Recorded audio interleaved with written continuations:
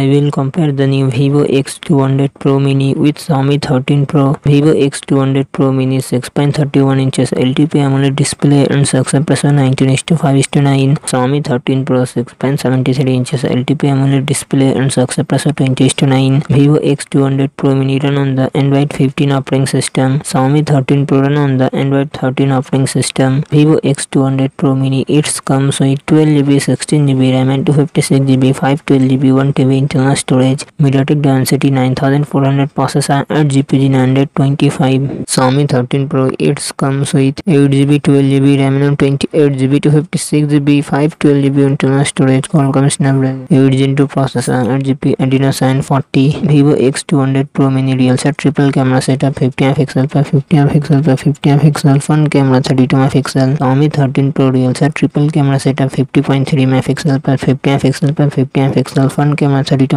MP. Vivo X200 Pro Mini 5700 mAh battery 90 watt fast charging support. Xiaomi 13 Pro 4820 mAh battery 120 watt fast charging support.